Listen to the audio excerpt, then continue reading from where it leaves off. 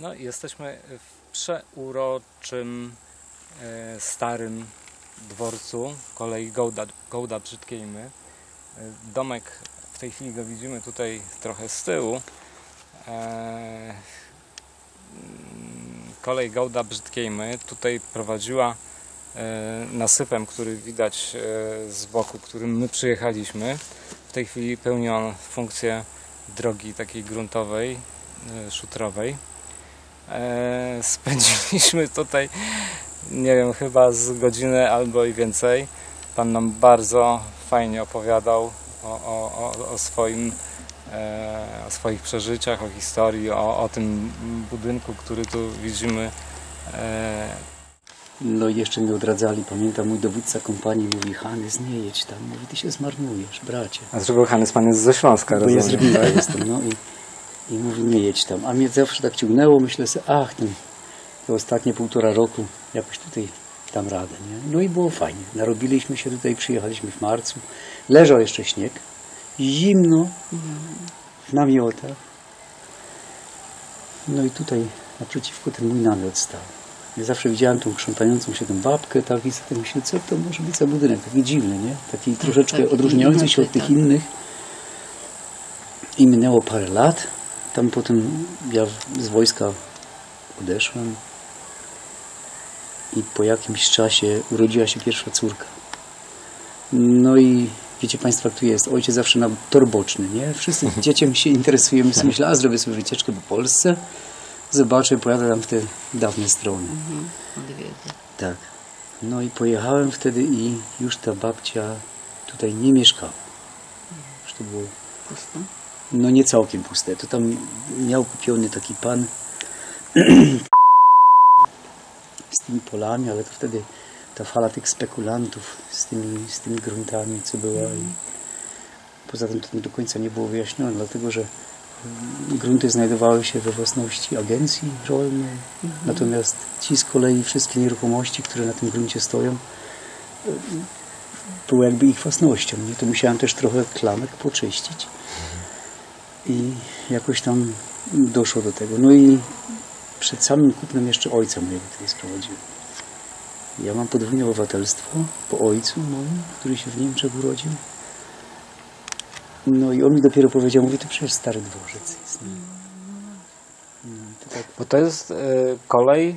E, Ta gołda brzydkiej. Kołda brzydkiej, Gołda- tak. tak, to tak, tak. tak, no. Kołda brzydkiej, no i stan technicznej budowli jeszcze był taki w miarę, w miarę dobry. No i zdecydowałem się wtedy na kupno. To jeszcze nie były wszystkie pieniądze, no ale bardzo to, dużo czyli to kupno od państwa było, czy, czy od, Od tego od właściciela. tego właściciela? Po części tak? od państwa, po części od właściciela, tak to było. Dlatego, że ja musiałem te grunty wykupić, nie? Aha. I pani, to też nie jest takie... Tak, tak. Mm. No i dałem się do roboty. To było w roku 2000. Bruk jest e, na, Na wysokości Nie, państwu podwórki, tak? Ten bruk jest mniej więcej troszeczkę niżej, dlatego że tu go nie ma, nie? Tak. Tu go nie ma. Tu były tory do rampy przeładunkowej, do tej rampy odbojowej. Ten bruk jest faktycznie tylko dotąd, do tego miejsca. I tam tak, tak samo się kończy. To pewnie tak, jak jakieś wozy przyjeżdżały, Super jest, coś... super. Ale pan wiedział o tym bruku? Czy, czy... Ja wiedziałem o tym. Wiedział pan. Ja wiedziałem Aha, o tym bruku aha. i, i tej ziemi musiałem dokładnie tyle, ile, jak tu jest i tam y, po prostu wybrać. wybrać. No i I No, opłacało się. ale to No, opłacało się, ale od razu- Bo, bo to trzeba było zrobić tak, żeby no, nie, nie uszkodzić tego bruku, tak? Tak, no, tak, to już tak. delikatnie. no pierwsze I powierzchnia jest dosyć duża, no to tu dużo mówi. Nieźle pan tutaj. pierw koparką, a potem już niestety tam, tak. metełką, No ale Ale ale tak, kilka miesięcy fajnie. temu jak był odkryty, to ten fajnie deszcz spłukał i dostałem z podatkowego e, stawkę podatkową, że mam wybrukowane podwórko. Domiar tak zwany. I niestety do metra kwadratowego trzeba było tam jakoś tam, nie wie wiem, pan, parę no. groszy dopłacić. Myślę, no Boże, Bo podwórka nie brukowało. Bruk cały czas leżał tylko pod ziemią. No. No i tam musiałem się zgłosić, wierzyć to, no i Już to zwiedzieli się, Tak, że, tak, że można trochę jeszcze u, u, uszczknąć grosza, No. prawda? Się... Tutaj tak y, już koniec świata niemalże, nie? No tu jacyś tam teraz turyści na rowerach, tam może od, od czasu Wie do pan co, czasu. ja jestem takim człowiekiem, ja nie potrzebuję ludzi do towarzystwa. Nie, Mi nie, wystarczy nie, nie, kilku no właśnie, dobrych przyjaciół, Właśnie o to z którymi mogę posiedzieć, porozmawiać, ale ja nie potrzebuję tłumów, dyskotek. Ale właśnie, właśnie to chciałem powiedzieć, że to jest takie To dobre jest- miejsce, gdzie, gdzie, gdzie ludzie nie docierają. Ja tu tankuję energię. No właśnie, Tu tankuję. Rozumiem. Ładuje pan akumulator, jak to Tak. prezydent kiedyś powiedział. A, No, ale No, a- a też przyzwyczaiłem do środowiska miejsc, wielkomiejskiego jestem, No ale właśnie. wie pan, to przechodzi z wiekiem. Już w wieku 55 lat to raczej już człowiek tak ciągnie go do daje takiego... sobie odbój z tym wszystkim, nie? I No to fajnie, że takie jest miejsce, że można sobie... My, my też tutaj przyjeżdżamy co roku, ciągle się zbieramy, że gdzieś, a może pojedziemy tu, a może to, może I zawsze, i zawsze wakacje gdzieś zawijamy na tą Suwalszczyznę. na Suwalszczyznę, tak. Ja już też tego świata zwiedziłem pół, ale niestety, tu zawsze jadę, to zawsze z takimi myślami, ciekawe co tam nowego, co tam będzie. No jaka... właśnie. Teraz była susza tutaj na Suwałkach. No. dla mnie to może lepiej, bo tej trawy tyle nie rosło. W miejscach trawa wyższa ode mnie. Jak to mówią te rzepy, wie pani, to, to wziąłem to taką kosę mam i tą kosą kosiłem, to ja nie wiedziałem, że ten rzep jest jak drzewo u stusa. No tak, on ma taką grubą No, to mi sprzęgło wyłączyło Tak. z kosy, jak, No. jak tam.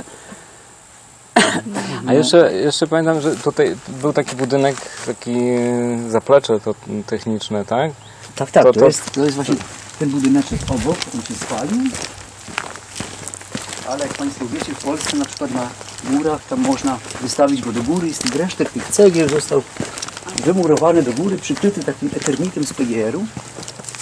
No i jest, to jest ten budynek. No to jest, To tam jest y, kawał budynku. finalnych tych lat, jak te lipki zostały posadzone, bo według daty e, ten budynek został oddany do użytku w 27 roku, w sierpniu. To te lipki były takie świeżo posadzone i ktoś zrobił z góry zdjęcie i to mi taka pani Niemka dała, która z kolei wychowała się w tym takim spalonym gospodarstwie. Ona mi udostępniła te zdjęcie, bo ona tu kiedyś była, jako stara babcia już, nie? I przyjechała w tę stronę i tak siedziała z żoną, gadały tam troszeczkę sobie pogadały, pogadały. I z tej góry właśnie było zrobione zdjęcie na tą stację. Tu były drzwi, one są zamurowane. te drzwi. No właśnie, to była- od tej strony było kiedyś wejście, prawda? No tam stację, wiadomo, bo to na peron przyszło. To znaczy z tamtej też, wie pani, tylko tu było wejście dla publiczności, dla normalnych ludzi, a tam już był budynek, była zawiadowca, siedział, tam jeszcze table takie były z tych, e, jak to się mówi, Sterownia to taka. sterownia, żeby tam te tory przerzucić, Aha. nie, z lewa na prawo.